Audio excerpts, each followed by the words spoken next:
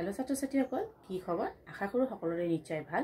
ছাত্ৰ ছাত্ৰীসকল এইবাৰ পিৰিয়ডিক টেষ্ট ওৱানৰ অন্তৰ্ভুক্ত কাৰক বিষয়টো আজি আমি আলোচনা কৰিম। কিন্তু কাৰক বিষয়টো আলোচনা কৰাৰ আগতে তোমালোকক জানিব লাগিব যে বিভক্তি কাৰকৰে অন্তৰ্ভুক্ত। কাৰক ব্যৱহাৰ কৰোঁতে আমাৰ কিছুমান বিভক্তিৰ চিহ্নৰ প্ৰয়োজন হয় যিটো আমি আগৰ ভিডিঅ'ত আলোচনা কৰিছিলোঁ। সেয়ে আজি আমি কাৰকৰ ওপৰত আলোচনা কৰোঁ।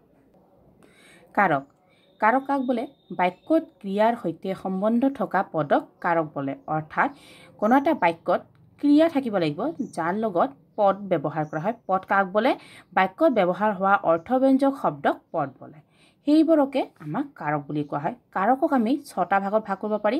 কৰ্তা কাৰক কৰ্মকাৰক কৰণ কাৰক সম্প্ৰদান কাৰক অপাদান কাৰক আৰু অধিকৰণ কাৰক এতিয়া আমি ভাগবোৰৰ সূত্ৰবোৰক কৰোঁ কৰ্তা কাৰক বাক্যত ক্ৰিয়া সম্পন্ন কৰতাক কৰ্তা কাৰক বোলে। অৰ্থাৎ কোনো এটা বাক্যত যিজনে ক্ৰিয়া সম্পন্ন কৰে অৰ্থাৎ কাৰ্য সম্পন্ন কৰে তাকে আমি কৰ্তা কাৰক বুলি কোৱা হয়। কৰ্তা মানে হৈছে ছাবজেক্ট কৰ্তা কাৰকত প্ৰথমা বিভক্তি হয়। আমাৰ প্ৰথমা বিভক্তিৰ চিনবোৰ কি কি আছিল? চৰেয় হচৈ এ। উদাহৰণস্বৰূপে চোৱা ৰামে কিতাপ পঢ়ি আছে। ইয়াতে কৰ্তা কোন? ৰাম। এতিয়া ৰামৰ লগত এই বিভক্তিটো আমাৰ প্ৰথমা বিভক্তি হ'ল নে নহয়? নিশ্চয় হয়। সেয়ে আমাৰ কৰ্তা কাৰকত কেনেকৈ ব্যৱহাৰ হৈছে চাইছা? এতিয়া চোৱা কৰ্তা কাৰকত কিছুমান নিয়ম আছে। কৰ্তা কাৰকত আকৌ চাবা অকৰ্ম ক্ৰিয়াৰ কৰ্তাত বিভক্তি লুপ্ত হয়। অৰ্থাৎ অকৰ্মক যে ক্ৰিয়াবোৰ আছে যিবোৰ ক্ৰিয়াত কোনো কৰ্ম নাথাকে সেই কৰ্মবিলাকত বিভক্তি লুপ্ত মানে নাইকিয়া হ'ব পাৰে। যেনেকৈ ইয়াতে চোৱা ৰাম আহিল। এইটো অকৰ্ম ক্ৰিয়া কেনেকৈ হ'ল যে ইয়াতে কোনো ক্ৰিয়াৰ পাৰপাছত দিছে যে কাৰ ওপৰত ক্ৰিয়াটো কৰিছে ৰামে? কোনো কৰা নাই। কিন্তু ইয়াতে ৰামে আহিল বুলি কোৱা আছে নেকি? নাই। কেৱল দিয়া আছে ৰাম আহিল। তাৰমানে ৰামৰ লগত আমাৰ বিভক্তি চিন যোগ কৰা হৈছে হোৱা নাই। ঠিক তেনেকুৱা যদু গ'ল। হয়তো যদুৰ লগত কোনো বিভক্তি চিন আছে? নাই। এতিয়া চোৱা মই ইয়াতে এটা সৰু বক্সত লিখিছোঁ কি কোনো নাম উল্লেখ কৰিলেই প্ৰথমা বিভক্তি হয়। মানে প্ৰথমা বিভক্তি কেনেকৈ ক'ব পাৰি? যে কোনো এটা নাম ব্যৱহাৰ কৰিলেই তাতেই প্ৰথমা বিভক্তি হ'ব পাৰে। হয়তো এইটো ৰাম হ'ব পাৰে বা কিতাপ হ'ব পাৰে বা যিকোনো হ'ব পাৰে। এতিয়া চোৱা যেনেকুৱা ইয়াতে আমি চাইছোঁ যে অকৰ্ম ক্ৰিয়াৰ কৰ্তাত বিভক্তি লুপ্ত হয় ঠিক তেনেকুৱা কৰি কিছুমান বিভক্তি উজ্জ থাকে বা লভ নহয়। উজ্জ মানে কি? চাব পৰা যায় বিভক্তি দেখিব পৰা যায় বা লভ নহয়। তেনেকুৱা বাক্যৰ উদাহৰণ যেনেকুৱা ৰামে হাঁহিছে। এতিয়া ৰাম হাঁহিছেতো নহয় ৰামে হাঁহিছে হয় ইয়াতে চোৱা বিভক্তি আছেনে নাই? নিশ্চয় আহিছে। সেয়াই কৈছে যে কৰ্তা কাৰক এনেকুৱা এটা বস্তু যে কিছুমান ক্ৰিয়াত কৰ্তা বিভক্তি থাকিবও পাৰে বা নাথাকিব পাৰে। যেনেকৈ ইয়াতে নথকাটো দেখাই দিছোঁ ৰামে আহিল আৰু থকাটো দেখাই দিছোঁ কি ৰামে হাঁহিছে বা ৰহিমে কান্দিছে। কৰ্তা কাৰকত আৰু কিছুমান সৰু সুৰা ভাগ আছে। যেনেকুৱা কৰ্তা কাৰকত সম্বন্ধন আৰু তুলনামূলক অব্যয় শব্দবোৰত প্ৰথমা বিভক্তি হয়। সম্বন্ধন মানে আমি যাক আমি শ্ৰদ্ধা কৰিহে মাতোঁ যেনেকুৱা ৰাম আমি ৰামক হে ৰাম বুলিতো মাতিব পাৰোঁ নে নাই? ইয়াতে হে ৰাম এই হেটোৱে আমাৰ সম্বন্ধন শব্দ। তাৰপিছত চোৱা তুলনামূলক অব্যয় তুলনা মানে হৈছে কাৰো লগত তুলনা কৰা বুজোৱা। যেনেকৈ ইয়াতে আছে সদৃশ তুল্য মানে যেনে ইত্যাদি শব্দৰ ক্ষেত্ৰত প্ৰথমা বিভক্তি হয় যেনেকুৱা সাগৰ সদৃশ বিদ্যা। এতিয়া সাগৰক কাৰ লগত তুলনা কৰিছে?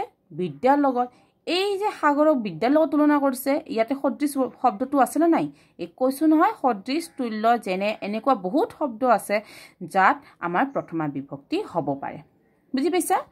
তাৰপিছত চোৱা ধিক আৰু ধন্য শব্দৰ জগত প্ৰথমা বিভক্তি হয়। ধিক আৰু ধন্য। এই দুটা শব্দ য'তে নাথাকক কিয়? তেতিয়া আমাৰ পৰৱৰ্তী শব্দ সদায় প্ৰথমা বিভক্তিয়ে হ'ব। যেনেকুৱা ইয়াতে আছে ধিক ৰাম। ধিক ৰাম কোৱাৰ লগে লগে ইয়াতে ধিক শব্দটো আগত আছেনে নাই? নিশ্চয় আছে। তাৰ পৰৱৰ্তী কি আছে? প্ৰথমা বিভক্তি অৰ্থাৎ কৰ্তাকাৰক আছে। আমি কৈছিলোঁ যে কোনো নাম উল্লেখ কৰিলেই প্ৰথমা বিভক্তি। তেতিয়া নাম উল্লেখ কৰা আছেনে নাই? নিশ্চয় আছে। সেইকাৰণে ইয়াতে প্ৰথমা বিভক্তি হৈছে। হ'ব? এতিয়া চোৱা এটা কথা মনত ৰাখিবা ধিক আৰু ধন্য। এই দুটা শব্দ সদায় নাম শব্দটোৰ আগতহে বহে।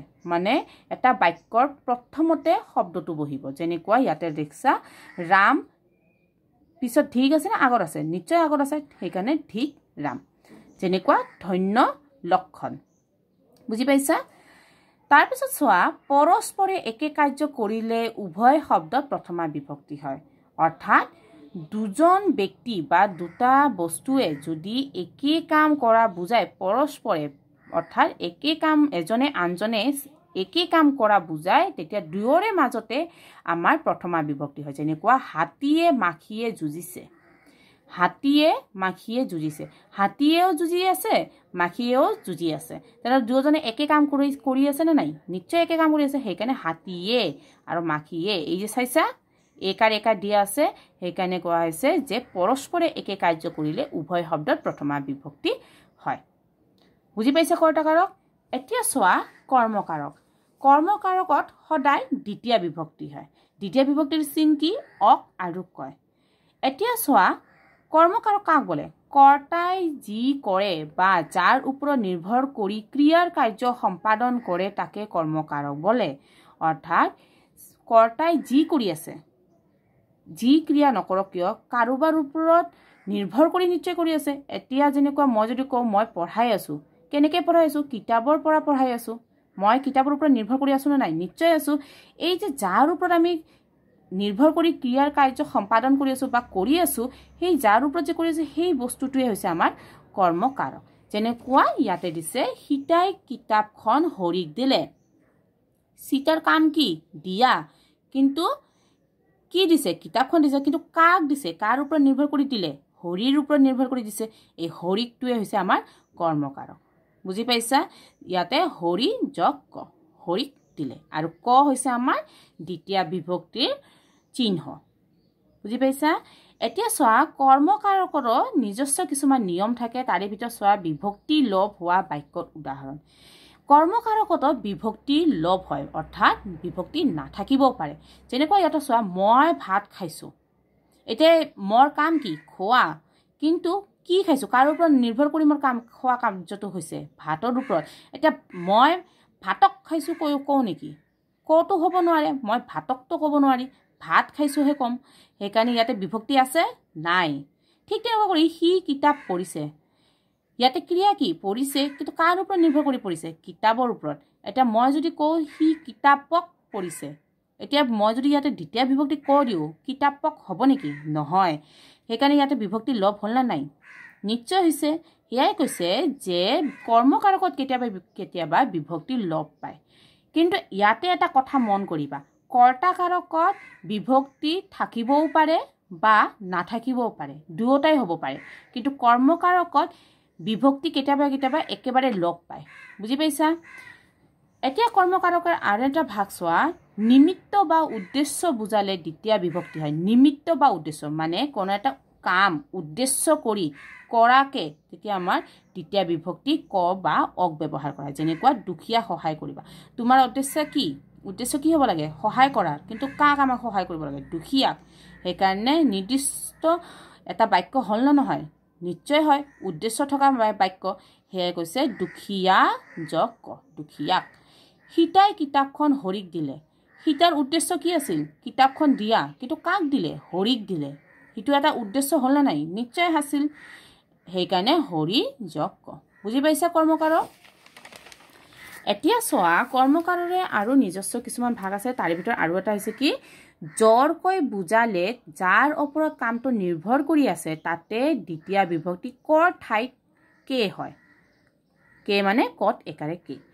জ্বৰকৈ বুজালে মানে কোনো এটা কাম যাৰ ওপৰত কৰি আছে যিহেতু কৰ্মকাৰক আমি কি বুজিছোঁ যাৰ ওপৰত নিৰ্ভৰ কৰি কামটো সম্পাদন কৰা হয়। যাৰ ওপৰত কামটো সম্পাদন কৰি আছে নিৰ্ভৰ কৰি তাক যদি আমি জ্বৰ কৰি বুজোঁ তাতে আমাৰ দ্বিতীয় বিভক্তি কি হ'ব লাগিছিল? ক হ'ব লাগিছিল কিন্তু জ্বৰকৈ বুজাৰ ক্ষেত্ৰত কৰ নহয় কত একাৰে কে আহি যায় বুজি পাইছা? যেনেকৈ ইয়াতে লিখিছোঁ কিতাপখন মোকে দিয়া। ইয়াতে জ্বৰকৈ বুজাইছে মানে কি? তুমি কিতাপখন মোকে দিবা আন কাৰোকে নিদিবা। এই যে মোকে দিয়া জ্বৰকে বুজাইছে এই মকটোৱে পৰৱৰ্তী মকে হৈ যায় কটোৱে আমাৰ জ্বৰ কৰি দ্বিতীয় বিভক্তিত কে আহি যায় কাৰণ জ্বৰকে বুজাইছে নে নাই নিশ্চয় বুজিছে। ইয়াতে চোৱা তুমি এতিয়া পুথিকে পঢ়া। এতিয়া তোমাক কাম কৰিব দিছে তুমি পুথিকে পঢ়িবা। বেলেগ তাৰমানে আন একো কাম কৰিব নোৱাৰিবা। তোমাক জ্বৰকে বুজাইছে যে তুমি পুথিকে পঢ়িবা সেইকাৰণে পুথিকটোৱে পুথিকে হৈ গৈছে। বুজি পাইছা? এই যে কটোৱে কেট পৰিৱৰ্তন হৈ গৈছে। বুজি পাইছা? এতিয়া চোৱা ধিক আৰু ধন্য জগত দ্বিতীয় বিভক্তি হয়। আমি কৰ্তাকাৰকত কি পঢ়িছিলোঁ ধিক আৰু ধন্য জগত প্ৰথমা বিভক্তি হয়। ইয়াতো ধিক আৰু ধন্য জগতৰ দ্বিতীয় বিভক্তি হয়। এতিয়া পৰীক্ষা হলত কেনেকৈ গম পাম যে কেতিয়া ধিক আৰু ধন্য যোগ হ'লে যে প্ৰথম আৰু কেতিয়া দ্বিতীয় হ'ব? তেতিয়া মনত ৰাখিবা যে ধিক কৰ্তাকাৰকত কেতিয়া ব্যৱহাৰ কৰা হয়? যেতিয়া কোনো নাম উল্লেখ কৰিলে যিহেতু আমাৰ প্ৰথমা বিভক্তি হয় তেতিয়া চাবা বাক্যটোত নাম য'ত উল্লেখ কৰি আছে সেই নামৰ আগতহে ঠিক হয়। আৰু দ্বিতীয় বিভক্তিত নামৰ পিছতহে ঠিক হয়। ইয়াতে চাইছা তোমাৰ সাহসক ধন্য। চাইছা না? ক'ত আছে? পিছত আছে নে নাই? নিশ্চয় আছে। কিন্তু কৰ্তা কাৰকত এই ধন্য বা এই ধিকটোৱে আগত থাকিল হয় য'ত দ্বিতীয় বিভক্তিৰ পিছত আছে। বুজি পাইছে? কেনেকৈ গম পাবা যে কোনটো কৰ্তা কাৰকত লিখিম আৰু কোনটো দ্বিতীয় বিভক্তিত লিখিম? কেনেকৈ গম পাবা যে কৰ্তাকাৰৰ ধন্য আৰু ধিক সদায় যিটো আমাৰ প্ৰথমা বিভক্তি হ'ব তাৰ আগত বহিব। আৰু দ্বিতীয় বিভক্তিৰ ক্ষেত্ৰত অৰ্থাৎ কৰ্ম কাৰকৰ ক্ষেত্ৰত ধন্য আৰু ধিক শব্দটোৰ পিছফালেহে বহিব। এতিয়া চোৱা কৰণ কাৰক। কৰ্তা ক্ৰিয়া সম্পাদনত যিয়ে সহায় কৰে তাকে কৰণ কাৰক বোলে। অৰ্থাৎ কৰ্তাক কোনো এটা কাম সম্পাদন কৰোঁতে মানে শেষ কৰোঁতে যিটো বস্তুৱে সহায় কৰে তাকে আমি কৰণ কাৰক বুলি ক'ব পাৰোঁ। কৰণ কাৰকত আমাৰ তৃতীয় বিভক্তি হয়। তৃতীয় বিভক্তিৰ চিনবোৰ কি কি আছিল? ৰে দি দ্বাৰা আৰু দ্বাৰাই। যেনে উদাহৰণস্বৰূপে ইয়াতে মই দিছোঁ সি কলমেৰে লিখিছে। কৰ্তা কি? সি। কিন্তু কাৰ্য কি? লিখিছে। কিন্তু কাৰ কাৰ কাৰ দ্বাৰা লিখিছে? কাৰ থ্ৰুৰে লিখিছে? কলমেৰে। এই কলম আৰু ৰেটোৱে হৈছে আমাৰ তৃতীয় বিভক্তি অৰ্থাৎ কৰণ কাৰক। বুজি পাইছা? এই ৰেটো হৈছে আমাৰ তৃতীয় বিভক্তি। এতিয়া চোৱা সম্প্ৰদান কাৰক।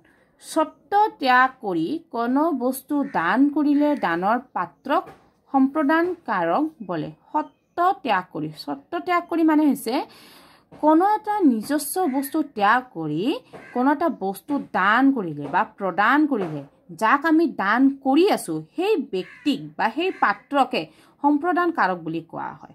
সম্প্ৰদান কাৰকত চতুৰ্থী বিভক্তি হয়। চতুৰ্থী বিভক্তিৰ চিন আছিল অক আৰু লয় উদাহৰণস্বৰূপে ইয়াতে মই দিছোঁ যে দুখীয়াসকলক কাপোৰ দিলোঁ। তুমি তোমাৰ স্বত্ব ত্যাগ কৰি বা তোমাৰ যিটো আমাৰ সমাজৰ যিটো তোমাৰ পৰিস্থিতি সেই পৰিস্থিতি তুমি পাহৰি যিটো মানুহক দান কৰিলা সেই দানৰ কাক দান কৰিছা ইয়াতে? নিশ্চয় দুখীয়াক দান কৰিছা। সেই যে ব্যক্তিজনক দান কৰিছা সেই পাত্ৰজন সেই পাত্ৰজনকে আমাৰ সম্প্ৰদানকাৰক হয়। যেনেকৈ ইয়াতে চোৱা দানৰ পাত্ৰ কোন আছিল? দুখীয়া। দুখীয়াসকলক ইয়াতে চোৱা দুখীয়াসকল ক এই যে কটোৱে আমাৰ সম্প্ৰদানকাৰক অৰ্থাৎ চতুৰ্থী বিভক্তি। ঠিক তেনেকুৱা কৰি আইলৈ সেৱা। কিন্তু সেৱাটো আমি দান নহয়। এটা কথা মনত ৰাখিবা সেৱা কৰা আমাৰ দান নহয়। আমাৰ সেইটো কৰ্তব্য। সেই আমাৰ যে নিজস্ব কৰ্তব্য থাকে তাৰ ক্ষেত্ৰতো কিন্তু আমাৰ সম্প্ৰদান কাৰক ব্যৱহাৰ হয়। যেনেকুৱা সেৱা প্ৰণাম নমস্কাৰ এইবিলাকৰ ক্ষেত্ৰত আমাৰ যিটো আমাৰ মানৱিকতা মানৱীয়তা বৰ ত্যাগ কৰি যিবোৰ আমি সন্মান কৰোঁ বা দান কৰোঁ সেইবিলাকৰ ক্ষেত্ৰত আমাৰ সম্প্ৰদান কাৰক ব্যৱহাৰ কৰা হয় যাৰ লগত আমাৰ চতুৰ্থ বিভক্তি অক আৰু লৈ হয়। বুজি পাইছা? গতিকে ছাত্ৰ ছাত্ৰীসকল আশা কৰোঁ তোমালোকে কাৰকৰ এই চাৰিটা ভাগ বুজি পাইছা। পৰৱৰ্তী ক্লাছত আমি কাৰকৰ বাকী ভাগবোৰৰ ওপৰত আলোচনা কৰিম। আজিলৈ ইমানতে সামৰিলোঁ। ধন্যবাদ।